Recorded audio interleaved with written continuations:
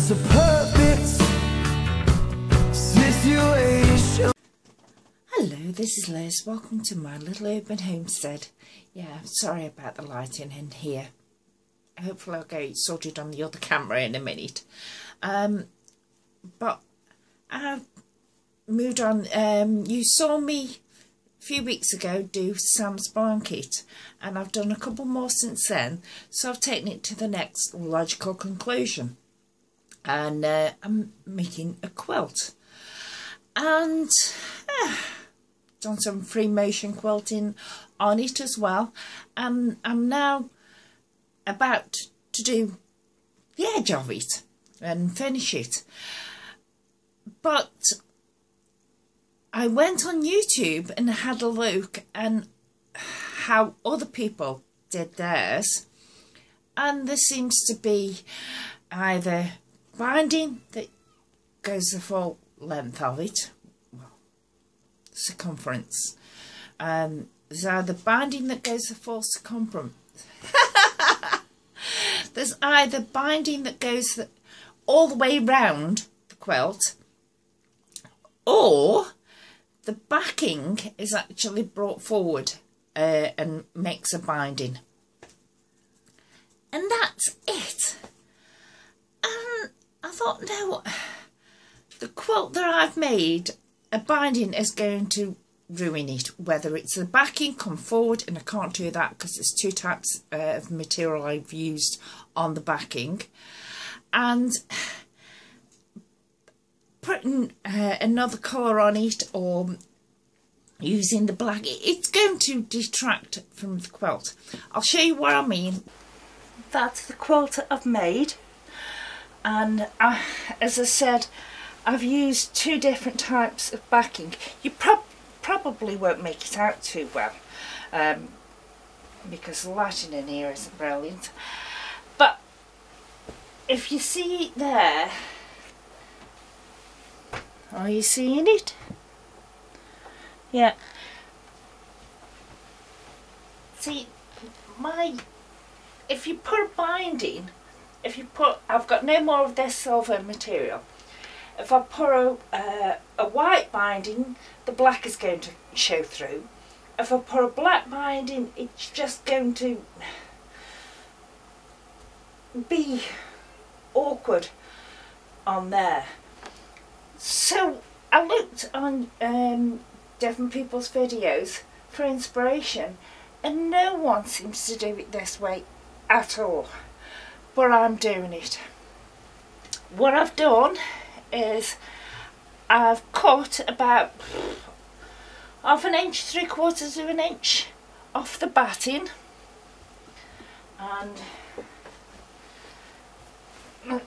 I've got one side left to do. You see my batting comes to there. So I'm going to cut down there half an inch. Being careful obviously. You don't cut your backing material. So there's backing cut off. But as you, you can see all this this pattern material are free motion quilted all the way around it. And I've just done a line down there it's got sides on here and then I realised if I'm doing this I can't really put sides on it so once I've actually turned it under eh, I'm going quilt sides and across the top so it'll all match them I still haven't got used to this camera yet. Also I'm going to do is turn over the backing first of all to cover the batting and then I'm going to turn under the top and then I'm going to stitch all the way around. And the stitching that I, I normally do on blankets and that whether it catches the batting or um, wadding or not doesn't matter because I'm going to do sides and across so they will catch the wadding.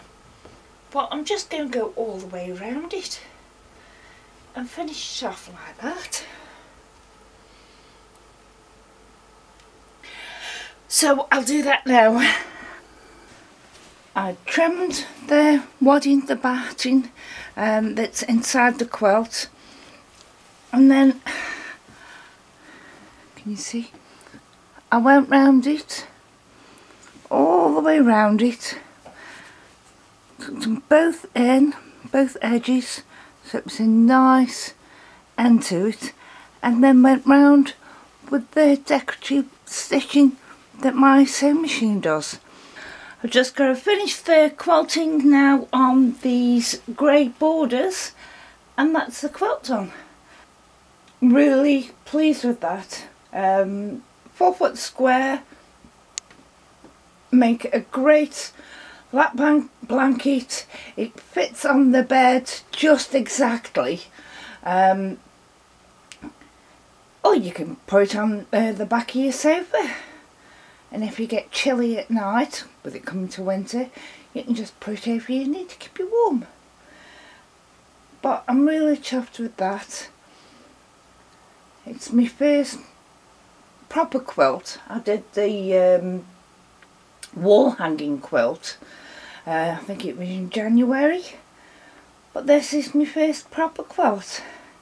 And I'm really really pleased with it how it's turned out. So this one um, might go on eBay might not. I might keep it myself or give it as a present. But two of the blankets that I've recently made I have put on eBay and if I can I'll see if I can put a link to those listings um, in the description box below. But really chuffed with that.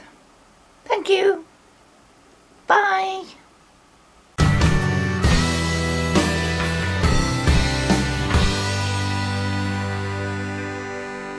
It's a